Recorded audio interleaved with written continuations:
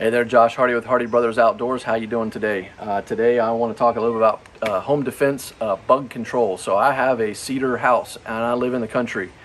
We have bugs, we have ants, we have uh, bees, we have spiders, we have everything you name it. Uh, and it's made worse when we bring wood into the house uh, for or stack wood near the house for for a fireplace during the winter. So one of the products that I have gone to as my go-to is this Bug Stop Home uh, Home Barrier, 12 month control. So I can go around the, the foundation of the property, uh, spray this, spray it around all my windows, around all my doors.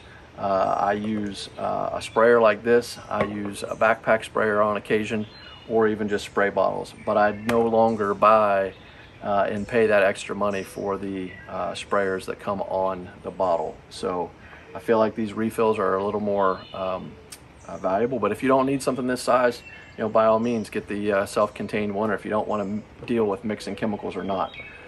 This new Chapin multi-purpose uh, sprayer that I'm using, uh, I find it to have uh, good spray pattern, good control, and um, is very convenient. So, um, you know, I guess it's uh, it's a, a, preference whether or not you want to go with the all-in-one contained bottle, even the spray bottle, or uh, you know mix your own or uh, distribute your own. So that's how we use it. I like this stuff. I use it on this house. I use it on my other house. I use it on my great aunt's house. We just got done eradicating a huge ant problem that she had. Uh, not sure where it was coming from, but we got all the foundation and all the internal baseboards and uh, no ants in the last uh, 90 days. So uh, we know it works and uh, I've been using it on my rental properties for some time as well. So three different properties and uh, I never pay for an exterminator uh, because this stuff works. No need to. Thanks for watching.